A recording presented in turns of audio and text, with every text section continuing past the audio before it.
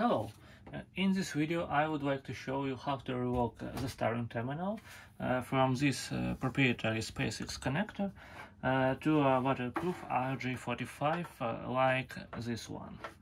I think everyone would agree that this connector is pretty bad, especially for this application. the connector is quite delicate and it's really easy to damage.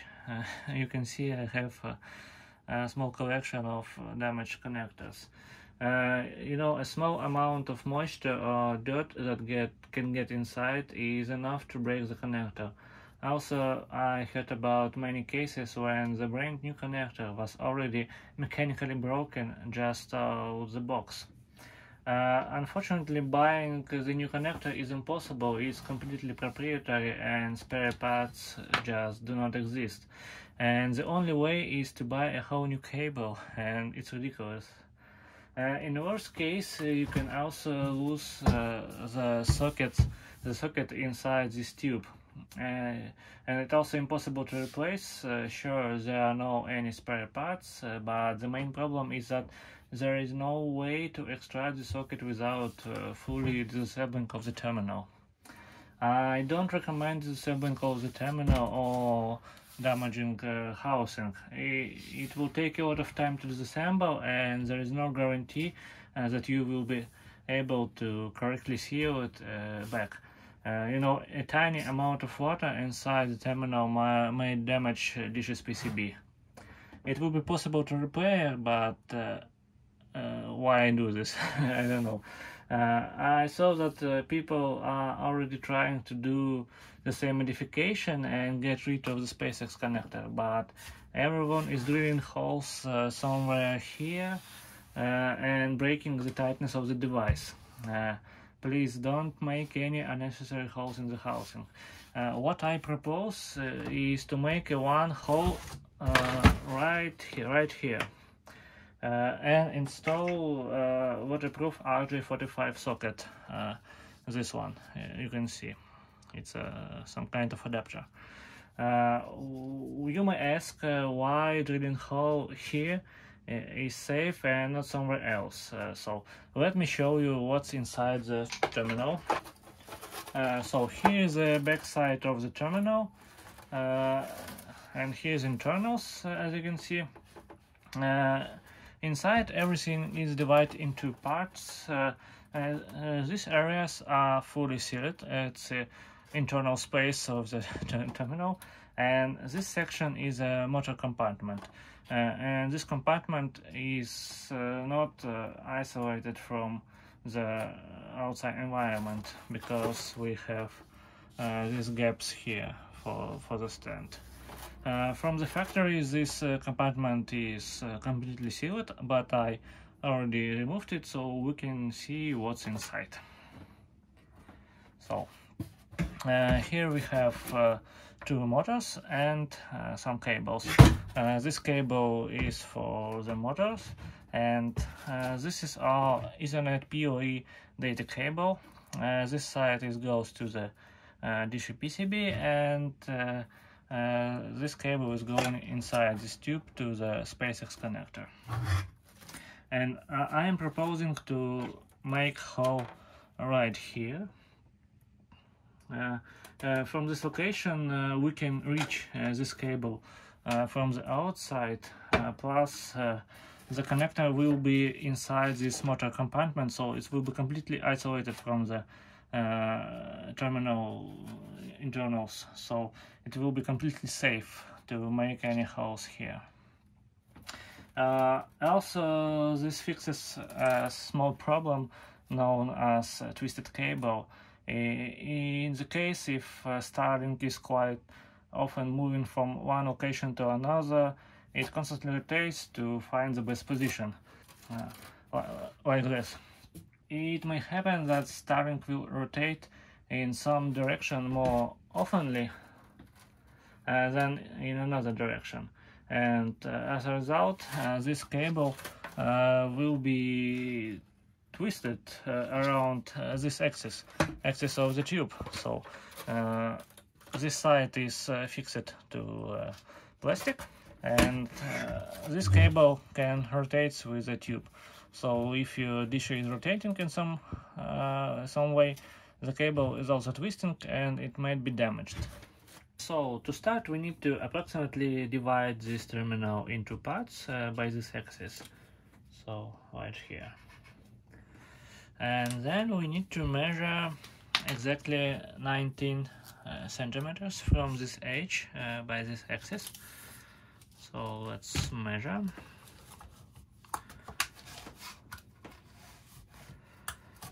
So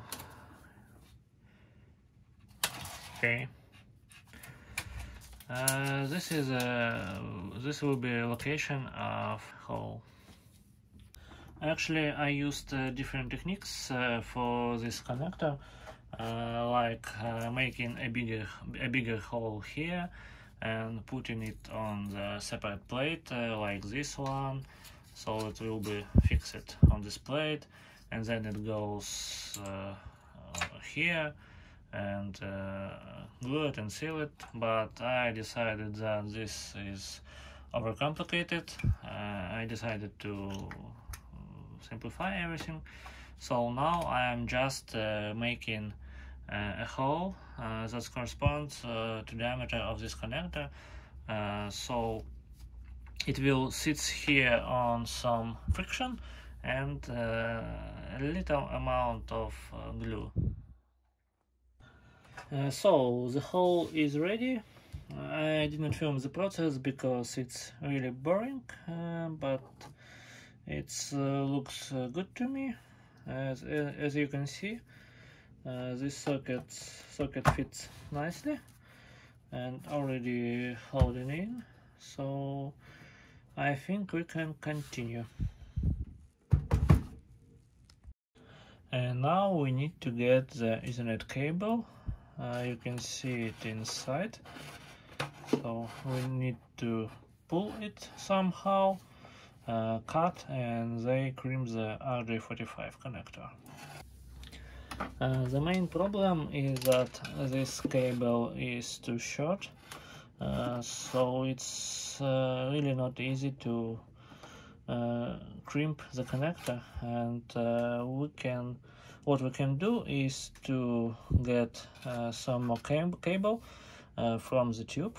Uh, we can do it by pushing pushing the whole this uh, plastic assembly uh, with the connector uh, a little bit inside the tube. So we can do it by pushing this plastic holder. It's already I already did this procedure that's why it looks like this.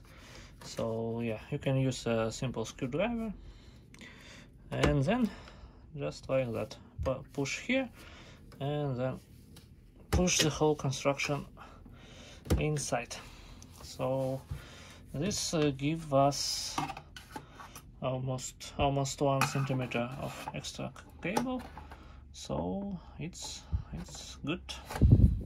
Uh, to cut the cable inside I used this uh, tool to uh, pull the cable and just a simple knife to uh, cut the cable inside.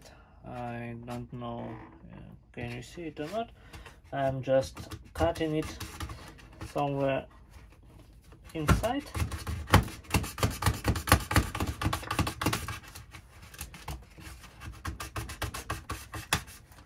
So yeah. Here's our cable.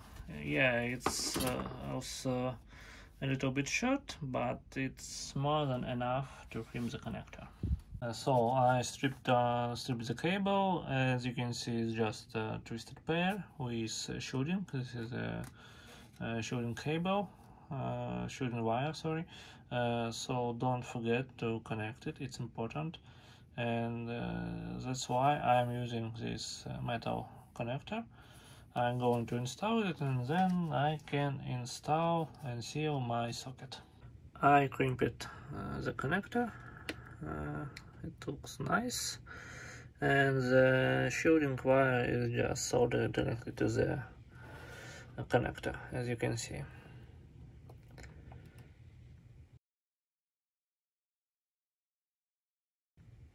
it's important to test uh, how everything fits in and also it's uh, worth to uh, verify the electrical connection. I'm using this uh, cable tester for the RJ45 so let's press the button and test it. As we can see all eight wires are shorted and it's okay because uh, all the lines are shorted inside uh, through the Ethernet transformer inside the terminal. And this uh, test result means that uh, connection is good. All pins are connected. So now we can actually uh, seal everything up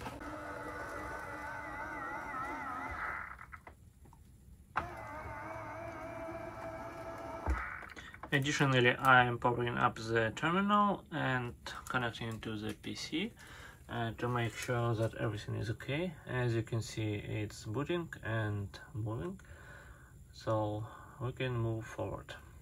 Uh, to make sure that this connection is fully protected, I am using uh, automotive gasket maker uh, to seal everything up and now I think it's well protected from moisture.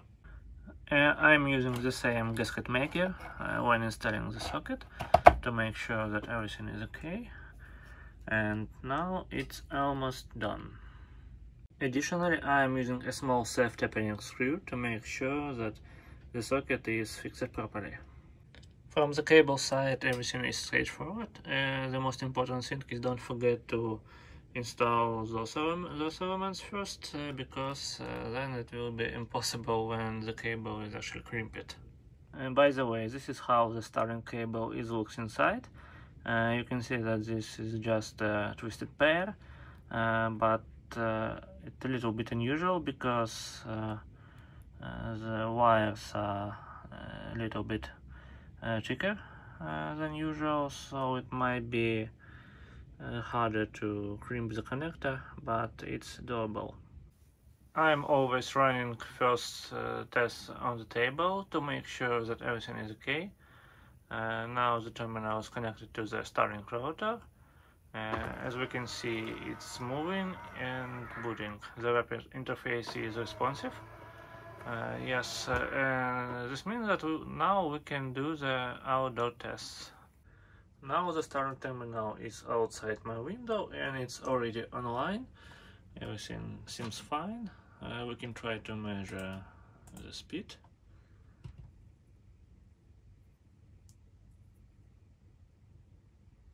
Okay, we are getting more than uh, 100 megabits per second and this means that the cable and connector was okay.